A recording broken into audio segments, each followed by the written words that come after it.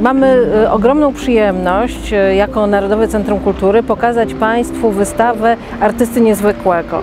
Jerzego Kaliny, który jest wybitnym e, rzeźbiarzem, scenografem, twórcą teatralnym, z wykształcenia malarzem, ale również performerem oraz twórcą rzeźby interwencyjnej. W 1977 roku stworzył słynne przejście, czyli pomnik anonimowego przechodnia.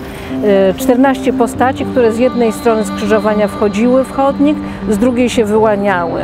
Kilka lat później, dokładnie 4 lata później, z nocy z 12 na 13 wybuchł stan wojenny.